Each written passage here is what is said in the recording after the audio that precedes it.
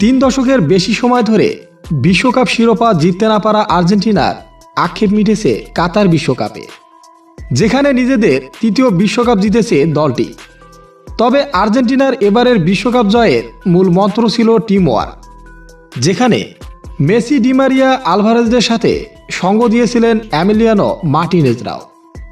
তাই তো এবারের বিশ্বকাপে মেসির একক নৈপুণ্য চোখ ধারিয়ে গেলেও মেসির পাশে বরাবরই আসবে আরেকটি নাম ডি মারিয়া। কেননা, এই মহানায়কের জন্যই দুই হাজার একুশ সালে কোপা আমেরিকার ফাইনালে ব্রাজিলকে এক শূন্য গোলে হারিয়ে শিরোপা জেতে আর্জেন্টিনা। এছাড়াও, বিশ্বকাপের ফাইনালে প্রথম গোলটিও আসে ডিমারিয়াকে ফাউল করা থেকে। এমনকি দ্বিতীয় গোলটিও করে ডিমারিয়া নিজেই।